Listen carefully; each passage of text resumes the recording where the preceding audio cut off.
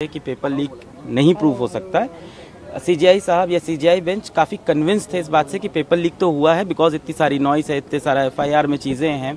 अब वो ये डिटरमाइन करना चाहते हैं किस एक्सटेंट तक पेपर लीक हुआ है। क्या वो लिमिटेड बच्चों में गया है या वो बहुत सारा जैसे आज के टेक्नोलॉजी का है तो उन्होंने ये भी बोला, क्या टेक्नोलॉजी की हेल्प से पेपर काफ़ी बच्चों में लीक हो गया अब वो ये डिटरमाइन करना चाहते हैं कि रीनीट की क्योंकि डिमांड थी काफ़ी लोगों की, काफ़ी सारे पटिशनर्स की रीनीट की डिमांड थी तो उसमें वो डिटरमाइन करना चाह रहे थे आज सीजीआई कि रीनीट किन बच्चों का होना चाहिए? क्या लिमिटेड पे बच्चों में पेपर लीक है या बहुत ज़्यादा बच्चों में लीक है? क्योंकि वो बार बार उन्होंने ये एम्फेसाइज भी किया कि 24 लाख बच्चों की ज़िंदगी का सवाल है और इतने सारे बच्चों का एक साथ रीनीट कराना लॉजिस्टिकली पॉसिबल नहीं है प्रैक्टिकली पॉसिबल नहीं है। इतने सारे बच्चों का मेंटल स्टेटस क्या होगा? फिर से तैयारी कर पाए नहीं। तो ओवरऑल अभी ये समझ में आ रहा है कि एक तो उन्होंने टाइम दिया है कि हमें टाइमलाइन बताइए कि पेपर कब आप बनाते हैं, कौन सी कमेटी बनाती है, दो सेट्स ऑफ़ पेपर कैसे बनते हैं डेट कब वो जाते हैं प्रेस में किस प्रेस में जाते हैं उसका नाम नहीं बताइए, उन्होंने कहा, वरना फिर तो अगले साल वहाँ भीड़ लग जाएगी।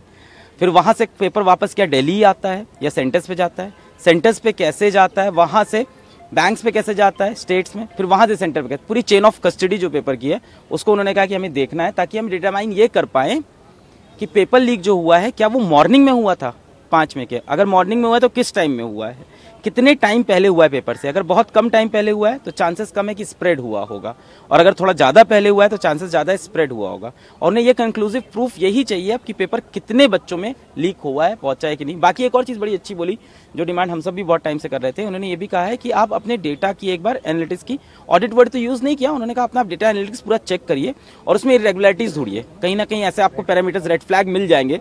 अपने डेटा के अंदर कि ऐसा हो कि 700 के ऊपर जो नंबर है, वहाँ पे नंबर ऑफ़ स्टूडेंट्स या percentile of students last year से इस ईयर ज़्यादा बढ़ा हो, जो कि है एक्चुअली है।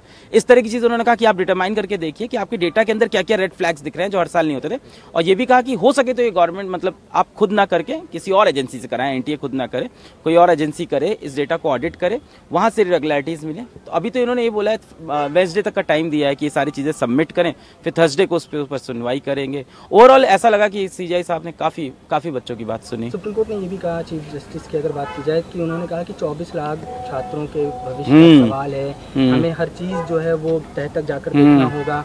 पेपर कब लीक हुआ पेपर लीक होने का नेचर कहा क्या था कहाँ लीक हुआ किस तरह से लीक हुआ ये तमाम बातें हैं। इसके अलावा सुप्रीम कोर्ट ने ये भी अपने ऑर्डर में लिखवाया कि जो उल्लंघन हुआ है वो सिस्टमेटिक तरीके से हुआ है। यानी जो ब्रीच हुआ है पेपर लीक को लेके उसमें वो सिस्टमेटिक तरीके से हुआ है पूरी परीक्षा को प्रभावित किया है या नहीं किया उल्लंघन ये तमाम सवाल जो है वो पूछे हैं इसका कारण ये रहा क्योंकि 2015-16 का जो मैटर है जहाँ पे री टेस्ट हुआ है ए में वहाँ पे ये एक्सेप्ट ये लिखा गया था मान्य कोर्ट के जजमेंट में कि सिस्टमैटिक फेलियर था। तो सिस्टमेटिक फेलियर के अंदर जब होता है तो उसके अंदर रीटेस्ट आपको कराना पड़ सकता है। तो ये डिटरमाइन करना चाहते हैं कि सिस्टमेटिक फेलियर है या कुछ लोगों की मेल प्रैक्टिस के अंदर इन्वॉल्व है।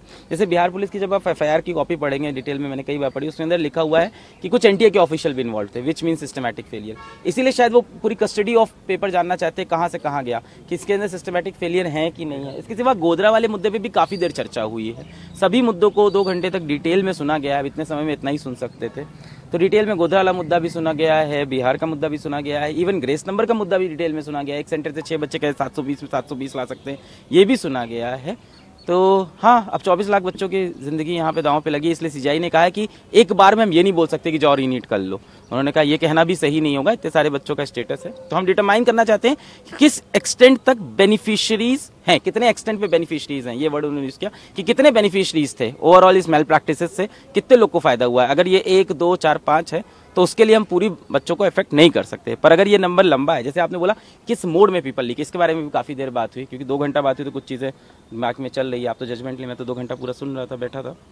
एक बड़ा अच्छा चीज़ उन्होंने ये भी बोला कि जो आप पेपर डिस्ट्रीब्यूट करते हो, जो chain of custody of paper है, जब आप प्रिंट पे जाता है, वापस दिल्ली आता है कि नहीं, ये बताया नहीं उन्होंने। उन्होंने सॉलिसिटर जनरल कहा कि हम पूरा पूछ के सब चीज़ लाएँगे उसके बाद पेपर क्या डिजिटली इलेक्ट्रॉनिक मीडियम से तो ट्रैवल नहीं करता है कहीं पे भी? क्या सारी जगह पेपर हार्ड कॉपी में ट्रैवल करता है?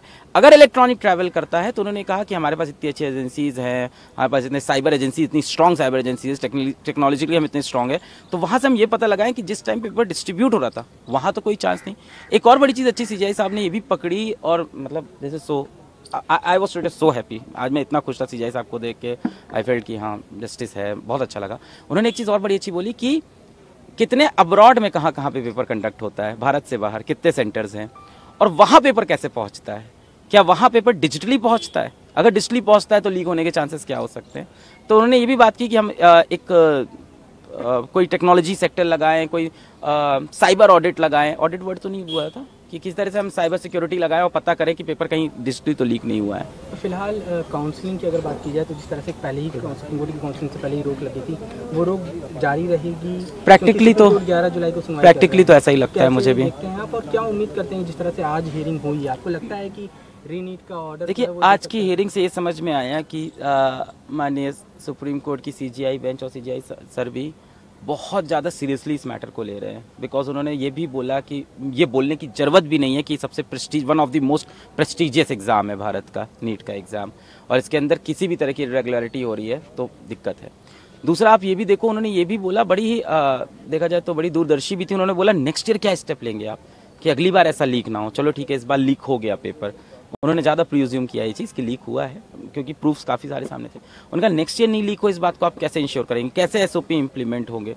तो ओवरऑल इस सबसे होपफुल तो है कि जो डिसीज़न आएगा बच्चों के फेवर में होगा और वो जस्टिस होगी।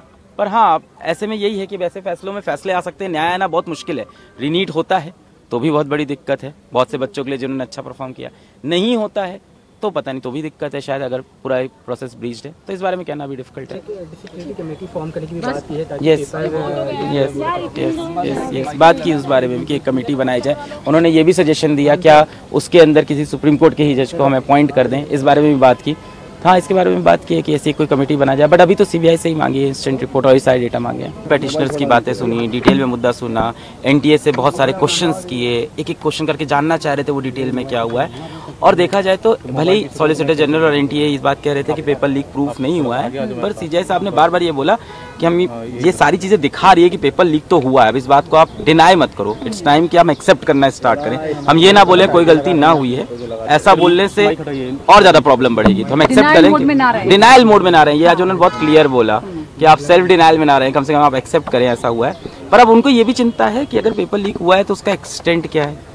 उसका फॉर्म क्या था, किस तरह से लीक हुआ है, कितने बच्चों तक पहुँचा था पेपर और उसकी टाइमिंग क्या है? इसके लिए उन्होंने देखा एनटीए से ये सवाल पूछा कि पेपर कौन बनाता है? पेपर छपने कहाँ जाता है, कब जाता है, कहाँ जाता है, उन्होंने कहा, मत बताना, वरना अगले साल भीड़ लग जाएगी।